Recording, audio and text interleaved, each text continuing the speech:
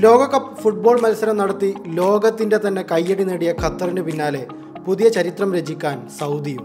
രണ്ടായിരത്തി മുപ്പതിലെ world expo Saudi തലസ്ഥാന നഗരമായ റിയാദിൽ അരങ്ങേറുമ്പോൾ ലോകം മുഴുവൻ സൗദിയിൽ സമ്മേളിക്കുന്ന മനോഹരമായ കാഴ്ചയാണ് കാണാൻ പോകുന്നത്.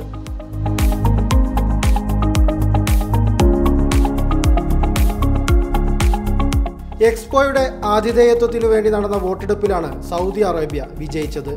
അന്തിമ റൗണ്ടിൽ ഇറ്റലി ദക്ഷിണ കൊറിയ എന്നീ രാജ്യങ്ങളോട് പൊരുതിയാണ് റിയാദ് ഈ അവസരം നേടിയെടുത്തത്. വോട്ടെടുപ്പിൽ നൂറ്റി രാജ്യങ്ങളുടെ പിന്തുണ സൗദിക്ക് ലഭിച്ചു. പാരീസിൽ എക്സ്പോ സംഘാടകർ നൂറ്റി എൺപത് രാജ്യങ്ങളുടെ പ്രതിനിധികളുടെ സാന്നിധ്യത്തിലാണ് വോട്ടെടുപ്പ് നടത്തിയത്. രണ്ടായിരത്തി മുപ്പത് ഒക്ടോബർ ഒന്ന് മുതൽ രണ്ടായിരത്തി മുപ്പത്തൊന്ന് മാർച്ച് മുപ്പത്തൊന്ന് വരെയാണ് വേൾഡ് എക്സ്പോ രണ്ടായിരത്തി മുപ്പത് നടക്കുക. എക്സ്പോ രണ്ടായിരത്തി മുപ്പതിന് ആതിഥേയത്വം വഹിക്കുന്നതിന് ആവശ്യമായ തയ്യാറെടുപ്പുകൾ സൗദി നേരത്തെ പൂർത്തിയാക്കിയിരുന്നു.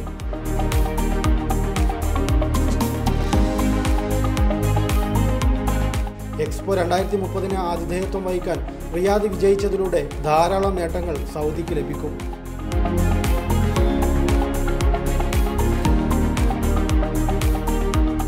വ്യക്തികൾ സ്ഥാപനങ്ങൾ മാധ്യമങ്ങൾ എന്നിവയിലൂടെ ആഗോള ആശയവിനിമയവും സ്വാധീനവും കൈവരിക്കാൻ സൗദിക്കാകും. സൗദി അറേബ്യ അവിടുത്തെ ജനങ്ങൾ സംസ്കാരം പരിവർത്തനത്തിന്റെ കഥ വിജയങ്ങൾ എന്നിവയെക്കുറിച്ച് പഠിക്കുന്നതിനുള്ള ഒരു ആഗോള കവാടമായിരിക്കും പ്രദർശനം. രാജ്യത്തിന് സാമ്പത്തികവും വികസനപരവുമായ നേട്ടം കൈവരിക്കാനുമാകും. അതോടൊപ്പം ലോകത്തിലെ ഏറ്റവും വേഗത്തിൽ വളരുന്ന തലസ്ഥാനങ്ങളിൽ ഒന്നാണ് റിയാദ് എന്നതും വേൾഡ് എക്സ്പോക്ക് ആതിഥേയത്വം വഹിക്കാനുള്ള നേട്ടമായി കണക്കാക്കുന്നു. റിയാദ് റോയൽ കമ്മീഷന് കീഴിലാണ് എക്സ്പോ രണ്ടായിരത്തി മുപ്പതിനുള്ള നാമനിർദ്ദേശവും തുടർന്നുള്ള നടപടികളും പൂർത്തിയാക്കിയത്.